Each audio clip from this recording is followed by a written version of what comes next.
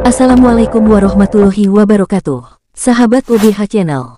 Terima kasih sudah berkenan mampir di channel ini. Semoga sahabat semua selalu sehat dan ditambah berkah rezeki. Amin.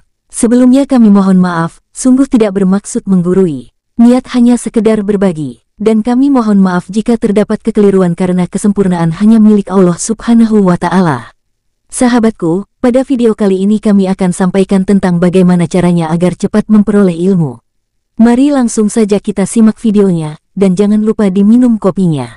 Saudaraku, tentunya sudah kita maklumi bahwa segala sesuatu amal atau pekerjaan apa pun, tentu akan sangat mudah dilakukan, jika seseorang sudah memiliki ilmunya, baik itu ilmu urusan duniawi maupun urusan uhrawi. Saudaraku, namun untuk mencari ilmu itu sendiri tentu tidaklah mudah, banyak sekali orang yang gagal dalam mencari ilmu dikarenakan beberapa faktor yang berbeda-beda. Saudaraku, berikut ada metode yang harus dilakukan secara istiqomah agar cepat memperoleh ilmu. Baginda Nabi bersabda, bagi siapa pun yang ingin cepat memperoleh ilmu, maka lakukanlah lima perkara berikut ini. Pertama, lakukanlah sholat malam walaupun hanya dua rakaat.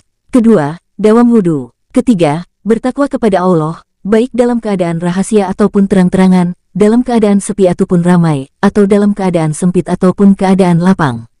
Keempat, makan hanya karena takwa, bukan karena nafsu syahwat. Kelima, rajin bersiwak. Selamat menjalankan. Diambil dari sumber kitab Surutun Nasihin, semoga kita semua menjadi ahli ilmu.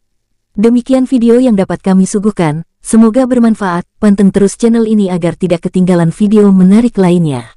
Jangan lupa like dan subscribe ya. Wassalamualaikum warahmatullahi wabarakatuh.